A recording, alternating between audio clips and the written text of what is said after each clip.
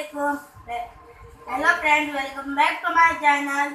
आज हम sweet dish बनाने वाला है चैनल इसके लिए हमें आधा लीटर दूध चाइना ग्रास ड्राई फ्रूट और हाफ़ बॉल शुगर और रो, और रोज सिरप।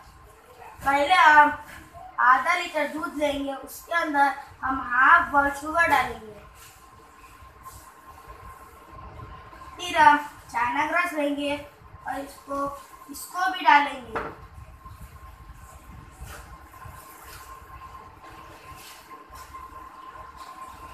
और हम इसको पकाने लेके जाएँगे अब हम इसको पकाएँगे।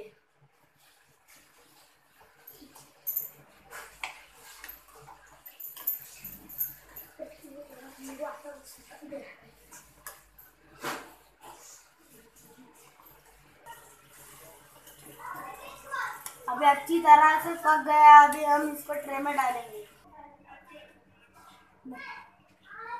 अब हम इसको एक ट्रे में डालेंगे। अब हम इसके ऊपर ड्राई फ्रूट डालेंगे।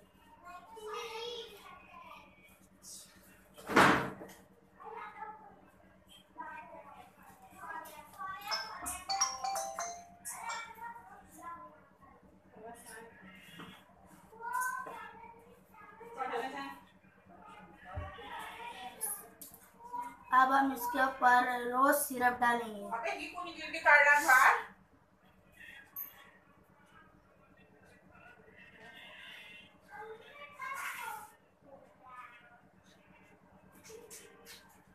हम इसको थोड़ा ठंडा करने लगेंगे।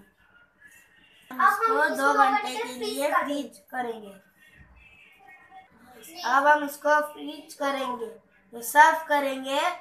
अब ये रेडी हुआ। Thank you seeing my channel